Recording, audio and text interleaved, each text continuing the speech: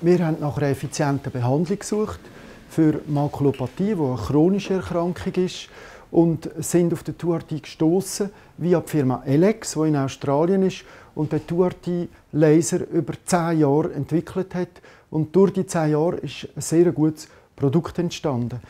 Wir haben angefangen mit der Tuarti Behandlung seit dem 1. Juli 2016 und wir haben insgesamt 160 Laserbehandlungen an Makulapatienten gemacht. Die Resultate sind hervorragend. In über 80 Prozent der Patienten eine Stabilisierung, in 10 Prozent der Patienten eine Visuszunahme. Während der Behandlung, und das ist einzigartig bei der TURT-Behandlung, können wir die Laserhärte nicht sehen. Wir sehen nur den Zielstrahl und können die Laserhärte durch das am oberen und unteren Gefäßbogen platzieren. Wir sehen die Laserhärte nur leuchten in der Autofluoreszenz. Das unterscheidet sich von anderen Lasern, wie zum Beispiel Dioden oder Argonlaser.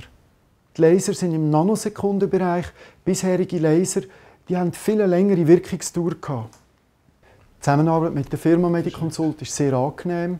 Sie sind äh, sehr kompetent mit der neuen Behandlung vom Tuarti und wir sind immer froh, wenn wir eine gute Unterstützung haben von der Firma Mediconsult. Patienten reagieren sehr gut auf zwei RT-Behandlung. Wir haben eine Umfrage gemacht bei den Patienten und wir haben durchaus sehr ein positives Echo. Ich bin sehr froh, sind wir auf der tuarti Laser gestoßen, dass wir für den Patienten eine weitere Therapiemöglichkeit haben bei Makulopathie und ich kann die Behandlung unbedingt weiterempfehlen.